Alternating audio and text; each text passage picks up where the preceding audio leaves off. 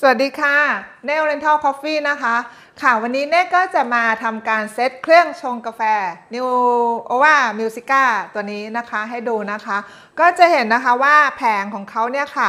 มีตั้งหลายตุ่มเลยนะคะ แล้วก็ทีนี้เนี่ยเราจะเซตยังไงนะคะ ในการที่เราจะใช้เครื่องนะคะ เราก็จะเห็นนะคะว่าปุ่มนี้ก็คือปุ่มเปิดปิดนะคะ แล้วก็จะมีปุ่มแก้ว2ใบแก้ว1ใบแล้วก็นี้เป็นปุ่มที่แบบว่าแมนนวลนะคะ หรือเราจะเซตก็ได้นะคะ แล้วก็ปุ่มนี้ก็คือปุ่ม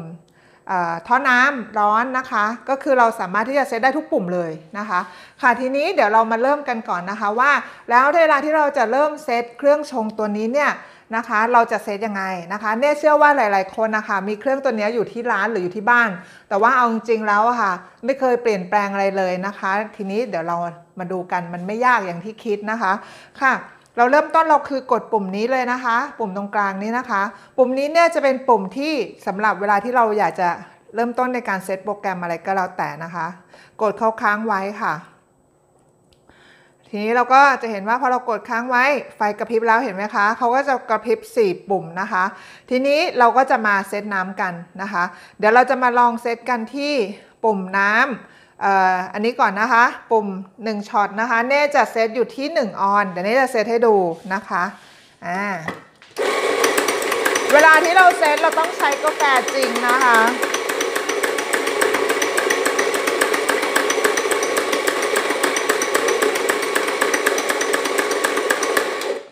เวลาที่เราจะเซตเครื่องนะคะ เราต้องใช้กาแฟจริงนะคะ เราจะแบบว่าสมมติเอาไม่ได้นะคะ ว่าเอ้ยปล่อยน้ำมา1ออนซ์อะไรอย่างเงี้ยไม่ได้นะคะ ก็คือเราต้องใส่กาแฟจริง เพราะฉะนั้นที่สำคัญก็คือก่อนที่เราจะเซตอะค่ะเราต้องหาช็อตกาแฟให้ได้ก่อนนะคะว่าบดกาแฟโอเคไหมสำหรับการสำหรับที่เราจะทำช็อตเอสเปรสโซนะคะ ทีนี้อันนี้เนี่ยก็คือเซตมาเรียบร้อยแล้วทีนี้เวลาที่เราเซตอะค่ะอย่างที่เน่เคยบอกทุกคลิปนะคะว่า ก่อนที่เราจะใส่ด้ามชง เราจะต้องทำไงคะไล่น้ำออกก่อนใช่ไหมแต่ว่าถ้าเวลาที่เราเซตเราไม่ต้องไล่นะคะ ไม่งั้นเดี๋ยวเดี๋ยวเดี๋ยวเขาเพี้ยนอ่าทีนี้เราก็มาดูนะคะว่า เราจะเอาที่ปุ่มนี้เอาที่ที่ 1 ออนนะคะ1ออนแล้วก็กดไป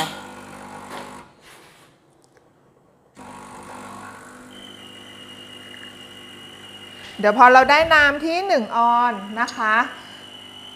เราก็กดหยุด อ่าลองดูก่อนนะคะ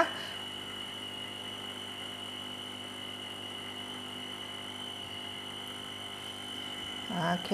ได้ในปริมาณที่เราต้องการนะคะ แล้วก็กดหยุดนะคะเนี่ยอยากได้ประมาณเนี้ยเนี่ยก็กดหยุดนะคะอ่าเสร็จแล้ว เดี๋ยวเราก็จะมาเซตปุ่มต่อไปเป็นปุ่มนี้นะคะ ปุ่ม 2ช็อตนะคะ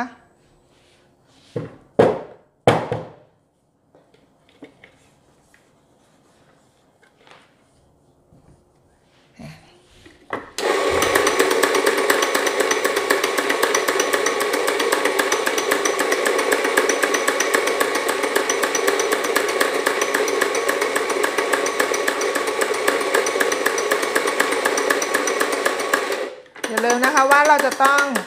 ใส่กาแฟจริงไปลงไปทำนะคะ ไม่ไม่ได้แบบว่าสมมุติ ไม่มีการสมมุตินะคะ ใส่กาแฟจริงนะคะ ลงไป เดี๋ยวเราจะดึงน้ำกาแฟที่2ออนนะคะ อันนี้เนี่ยเซตปุ่มนี้นะคะอ่าแล้วก็เอาเลยค่ะ กดปุ่มนี้นะคะ ปุ่ม 2 ถ้วยนี้นะคะบลึ้น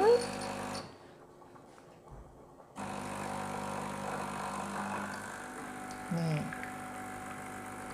จริงอันนี้ต้องบอกว่าน้ำค่อนข้างไหลเร็วนะคะ แต่ว่าก็ประมาณเอานะคะ เดี๋ยวอันนี้คือทำให้ดูมันไม่ใช่ตัวอย่างที่ดีนะคะ แต่ว่าจริง ๆ แล้วเราต้องเช็คช็อตให้ดีนะคะ แล้วก็กดแต่ว่านี้เนี่ยทำให้ดูนะคะว่า เวลาที่เราต้องการเราจะกดปุ่มแบบนี้นะคะ แล้วเราก็ทำแบบนี้นะคะ จริงๆแล้วถ้าเราเราอยู่ที่ร้านเราต้องจับช็อตให้ดีก่อนนะคะ แล้วก็ให้น้ำไหลดีๆนะคะ เพื่อที่ว่ามันจะได้แม่นยำนะคะ เพราะว่าพอถ้าถ้าก็คือถ้าหากว่าน้ำมันไหลเร็วอย่างเงี้ยบางที พอถ้าแก้วต่อไปถ้าเราชงแล้วมันเป็นช็อตที่ ที่มันเพอร์เฟกอะค่ะ บางทีน้ำมันจะได้ไม่เท่าที่เราต้องการนะคะ เพราะฉะนั้นก็คืออันนี้เนี่ยสาธิตให้ดูวิธีการเซตนะคะ ค่ะ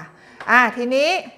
ถ้าพอเราได้แบบนี้ได้สองปุ่มแล้วใช่ไหมคะ ทีนี้ถ้าหากว่าปุ่มเนี้ยถ้าเราอยากจะเซตก็ได้นะคะ เราก็เซตได้นะคะ เป็น 3 ออน 4 ออนหรืออะไรแล้วแต่เรานะคะ หรือถ้าเราไม่เซตเราก็ปล่อยเขาไว้แบบนี้ เดี๋ยวเขาก็จะเป็นแบบแมนนวลคือจะหยุดเมื่อเรากดนะคะ ทีนี้เดี๋ยวเราจะมาเซตน้ำ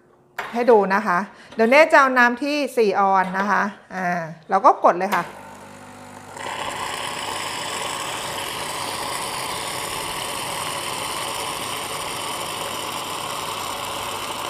บึ้งเห็นไหมคะ เนี่ยค่ะก็ได้ละน้ำที่ 4 ออนนะคะซึ่งเน่ถือว่าจริง ๆ แล้วอย่างเครื่องเนี้ยมันดีตรงที่แบบเนี่ยเราเซตน้ำร้อนได้คือเขาเหมือนเครื่องใหญ่เลยอะเหมือนเครื่องสองหัวเลยนะคะ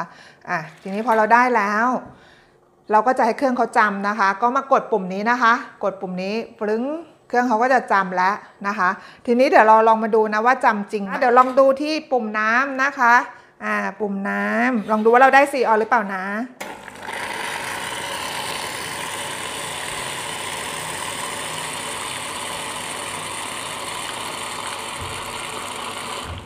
อะเห็นไหมคะ นี่เห็นไหมก็คือมันเซตได้ทุกทุกปุ่มเลยนะคะ ค่ะ ก็คืออย่างที่บอกไปนะคะว่าระบบอันนี้เขาก็คือจะมี 2 ระบบใช่ไหมคะ ก็คือจะเป็นระบบที่แบบว่าเป็น pre infusion นะคะ แล้วก็เป็นแบบเป็นแบบที่แบบว่าเขาดึงน้ำขึ้นมา แล้วก็ค่อยปล่อยลงมานะคะ ทีนี้เรามาลองดูนะคะว่าที่อย่างตอนนี้มันเป็น pre infusion อยู่นะคะ ก็คือเนี่ยค่ะน้ำเขาก็จะลงมาแป๊บหนึ่งนะคะ แล้วเขาก็จะค่อยปล่อยลงมาอีกนะคะ ก็คือเป็นการพรมน้ำนะคะ เมื่อกี้นี้นะคะ เนี่ยเห็นไหมคะ ทีนี้เนี่ยพออถ้าหากว่าเราอยากจะเปลี่ยนไปคือเราไม่อยากใช้แบบนี้นะคะ วิธีการที่เราอยากจะเปลี่ยนนะคะ ก็ทำได้ค่ะ คือเราก็จะต้องกลับมาที่ปุ่มเซตนะคะ ตัวนี้เวลาที่เราอยากจะเซตอะไรในเครื่องนี้นะคะ กดปุ่มกลางนี้ไว้ก่อนเลยนะคะนะคะอ่าพอเขาเป็นไฟขึ้นกระพริบอย่างนี้นะคะ ทีนี้เราก็จะกด 2 ปุ่มนี้นะคะ ปุ่มเซตกับปุ่ม2แก้วนี้นะคะอ่ากดไปด้วยกันนะคะพอเรากดแบบนี้แล้วเห็นไหมคะว่าเขาจะมีปุ่มตรงเนี้ยไฟติดอยู่ ถ้าไฟติดอยู่เนี้ยคือ pre infusion มันทำงานอยู่ก็คือมันจะไหลแบบเมื่อกี้ที่เน่เเปิดให้ดูนะคะ ทีนี้ถ้าเราจะปิดเราก็แค่กดตรงเนี้ยค่ะอ่าพอกดอันนี้เสร็จแล้ว เราก็มากดปิดเครื่องตรงนี้นะคะตึ้ม แล้วก็กดอีกทีหนึ่งเขาก็ได้ได้จำใช่ไหมคะทีนี้ทีนี้พอปิดไปแล้วเดี๋ยวเรามาดูนะคะว่า พอเราเปิดมาแล้วเนี่ยมันก็จะไม่มีระบบที่เป็นแบบว่าปล่อยน้ำลงมาพรมน้ำนะคะอ่าเดี๋ยวดูเนี่ยค่ะ มันก็คือจะเป็นระบบแบบว่าเขาจะดึงน้ำขึ้นมาที่ท่อนะคะ แล้วก็คือแล้วเขาก็คือค่อยปล่อยลงมานะคะเนี่ยโอเค เห็นไหมคะว่ามันจะต่างกันอะเดี๋ยวนี้ ย้อนกลับไปว่าเป็นแบบ pre infusion อีกทีหนึ่งนะคะ ก็คือเราก็กดปุ่มนี้ค้างไว้นะคะ ค้างไว้อ่าเสร็จแล้วเหมือนเดิมนะคะ กด 2 ปุ่มนี้ เห็นไหมคะอันนี้มันดับอยู่อันนี้เปิด เสร็จแล้วก็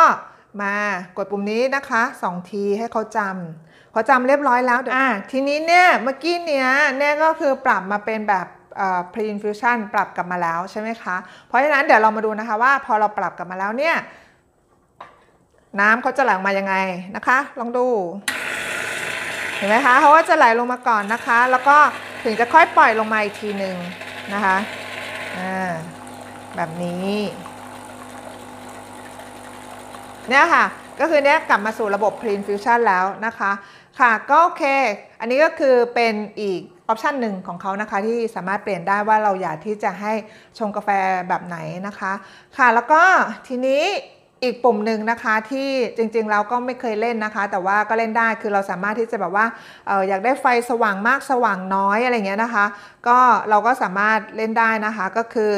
เออเรากดปุ่มกลางนี้นะคะ กดปุ่มกลาง ให้ไฟเขากระพริบนะคะ พอเขากระพริบแล้วใช่ไหม กด 2 ปุ่มนี้เหมือนเดิมจึ๊มทีนี้เนี่ยปุ่มนี้ค่ะ เรากดซ้ำๆๆได้นะคะ ลองสังเกตนะคะ ว่าเดี๋ยวไฟเขาก็คือจะมีแบบหลีลงมันสามารถที่จะแบบว่าหลีลงได้ 9 ระดับนะคะ ลองดูนะคะ ไฟแผงหน้าปัดนะคะหนึ่งหนึ่งเห็นไหมคะ ถ้าสังเกตเนี่ยคือเขาจะหลีลงหลีลงเห็นไหมคะ เห็นไหมเห็นไหมคะ ในจอเห็นไหมเนี่ยค่ะ เขาก็จะหลีลงแล้วแต่เรานะคะเราอยากจะได้ไฟสว่างมากสว่างน้อย แต่จริงๆเน่ว่ามันก็ไม่ไม่ได้มีผลอะไรเท่าไหร่นะคะ เพราะฉะนั้นคือของเน่ก็เอาสว่างไว้ก่อนนะคะ ก็โอเคค่ะ อันเนี้ยพอเราได้ความสว่างที่เราต้องการเราก็กดปุ่มนี้เหมือนเดิมนะคะ2ทีให้เขาจำแค่นี้ค่ะ ก็เนี่ยค่ะก็คือมิวสิก้านะคะ ก็คือสำหรับการเซตเครื่องของเขานะคะ ก็ ไม่ยากนะคะ เป็นการเซตแบบใช้โวลูมน้ำนะคะ ค่ะก็ลองไปเล่นกันดูนะคะสำหรับคนที่มีเครื่องนี้อยู่นะคะ ถ้ามีอะไรที่อยากจะแนะนำหรือว่าติชมนะคะ ก็ยินดีนะคะคอมเมนต์มาได้นะคะ ก็สำหรับวันนี้เกี่ยวกับการรีวิวเรื่องการเซตเครื่อง Nova Musica นะคะ ก็ประมาณนี้นะคะ ถ้า เห็นว่ามีประโยชน์นะคะ ก็ subscribe ไว้ก็ได้นะคะ เผื่อว่าเดี๋ยวเน่มีคลิปดีๆ เราก็จะมาแชร์ให้นะคะสำหรับเกี่ยวกับเรื่องของการชงกาแฟนะคะ ก็สำหรับวันนี้ขอบคุณมากนะคะเน Oriental Coffee ค่ะ สวัสดีค่ะ